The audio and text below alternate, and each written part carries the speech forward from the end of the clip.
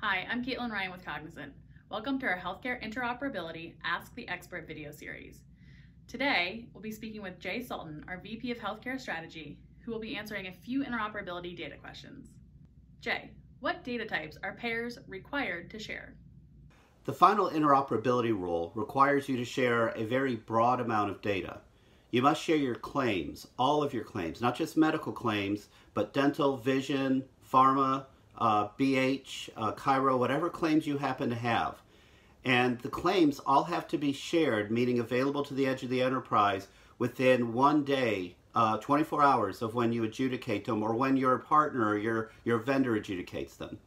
In addition to the claim data, you also have to share encounters. Now, these are not the encounters you submit to the government. This is the encounter data you would get from a provider when you're paying that provider uh, a capitation arrangement instead of a fee-for-service arrangement.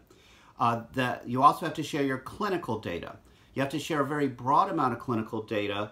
Doesn't matter whether it's data you created or data you got from somebody. It doesn't matter if you're system of record or not of any of this. If you have it in electronic form uh, since January 1st of 2016, uh, you're required to share it. And the clinical data they have to share is specified by something new called USCDI. You also have to share your provider directories and you have to share benefits information about your, your pharma plans, your, uh, uh, uh your outpatient uh, drug list with the tiering and the UM requirements and, and such. Next, what does maintain data mean? So everyone understands that one of the determinants of whether you have to share data or not is whether or not you maintain it. What does maintain mean?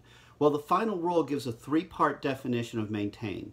The first part's easy. You have access. Remember, you don't have to report on data you don't have in electronic form. So if you don't have access to data, you don't have to share it. The second part of the rule says control. You have to share the data if you can control it.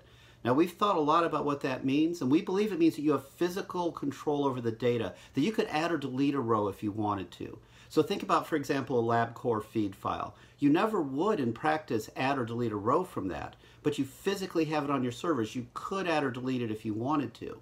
Now contrast that to say where you've got login access to a provider's EMR. You don't have the ability to add or delete a row. So you have to share the LabCorp file in my example, but you wouldn't have to share the data from the hospital's EMR that you only have electronic access to.